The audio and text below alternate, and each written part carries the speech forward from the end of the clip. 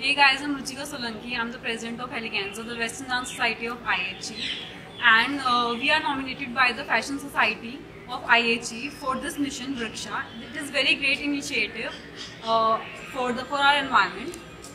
and also we should remember that we are not uh, taking uh, we are not uh, actually polluting the environment but also we are taking the environment from our future generations we are taking their free air so it is necessary that we save and save our environment And further, we want to nominate the uh, Navrang Society, the Navrang, the Theatre Society of IHE for the same, for the mission, and Nrityanjali, the uh, Dance Society of Lady Irwin for the, for the mission.